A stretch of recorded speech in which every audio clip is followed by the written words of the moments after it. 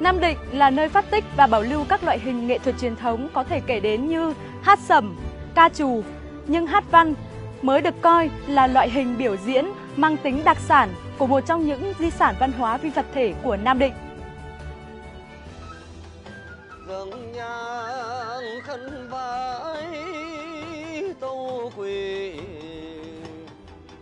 thiêu thiểu nhã nhạc hát ca vang lừng phủ chính linh từng cô lai dáng về đây. Ý à ơi à.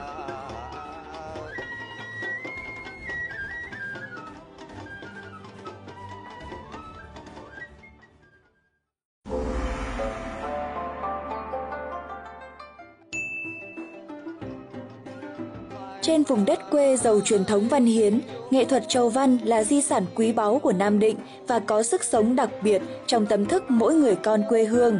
Làn điệu hát văn được sáng tạo, trao truyền từ thế hệ này sang thế hệ khác, mang đậm phong cách âm nhạc độc đáo và hội tụ giá trị của các hình thức âm nhạc dân gian khác. Hát văn trở thành nét đẹp riêng, là niềm tự hào của văn hóa thành Nam. Nam Định là quê hương nổi tiếng của nghệ thuật hát chầu văn, Ờ, mang những nét đặc trưng vô cùng độc đáo và bản sắc. Vậy thì ờ, nghệ thuật hát chầu văn của Nam Định từ đâu mà có ạ? thì mình sinh ra và lớn lên ở cái đất mẫu này, quê hương của mẫu. Cái nguồn gốc hát văn là cũng có từ khi mà đạo mẫu ra đời, theo được như mình được biết là về hát đây là mình hát văn hồ mẫu. Nói chung là hát văn thì nó rất là nhiều làn điệu. Ví dụ như cờn thì ừ, có khi cờn xuân rồi cờn huế, đầu cờn đua luyện hoặc là cờn tam tầng. Nói chung về tượng ngàn là các cái lối xã, thế còn à, về hàng cô thì cũng hay đi các lối cồn, hoặc ví dụ như hàng ông hoàng thì cũng đi ờ, thỉnh rồi đi ờ, dọc rồi khi mà xong rồi cũng đến tế. Cũng có người thì à, hát ừ, thơ phú là có thể đưa các cái cái lối dân ca của các vùng miền vào. Anh em công văn hát văn phải hát lối cổ. Nhưng ngoài ra thì có thể đưa thêm vào gọi là thêm thôi phụ họa thêm thôi vẫn là được đấy. Bởi vì là bảo tồn nó phát huy bảo tồn là giữ gìn lấy cái cổ phát huy là thêm cái mới.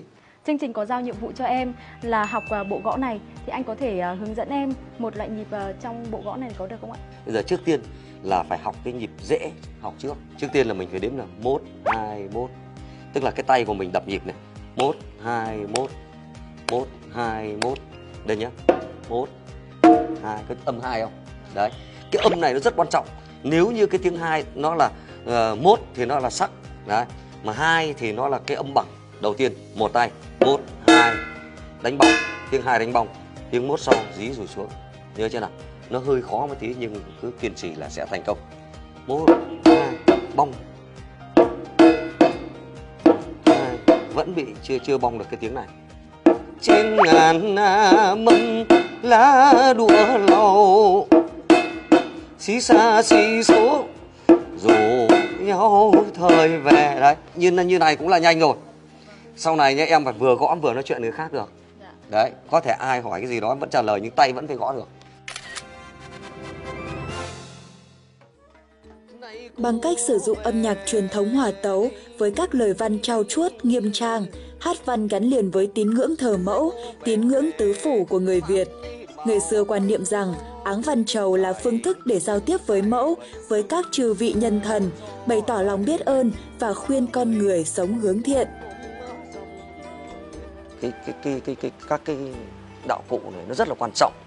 Một quan trọng nhất là cái đàn nguyệt này về giọng hát thì đàn phải theo hát. Nhưng cái quan trọng nhất ở trong cái cái cái, cái hát bất kỳ là ở một cái lĩnh vực nào thì đều phải qua cái nhịp phách này. Nếu như lệch nhịp thì sẽ cả đàn cả hát là sẽ không không chuẩn được nữa Đấy. ngoài ra thì trong cái hát văn này có tiếng sáo sâu lắng và linh thiêng thì phải có cả thêm cả cái trống cái nữa tạo lên cho cái cái không khí nó vui nhộn lên thêm cả cái nhị hoặc là uh, níu hoặc là thêm cả cái thập lục nữa Áng trầu văn mới với giai điệu vui tươi, trong sáng được chắt lọc từ nghệ thuật trầu văn cổ truyền mang hơi thở và nhịp sống đương đại. Cho tới nay, hát chầu văn đi vào đời sống dân gian, được đông đảo mọi tầng lớp đón nhận, giống như một loại hình nghệ thuật dân ca truyền thống, ngợi ca quê hương, đất nước, cuộc sống tươi đẹp, cổ vũ khối đoàn kết toàn dân. Cung văn hát hay, giỏi thơ phú, cung đàn có ngón đàn điêu luyện, tiếng hát văn mãi tỏa sáng nét văn hóa độc đáo của mảnh đất Nam Định phồn hoa.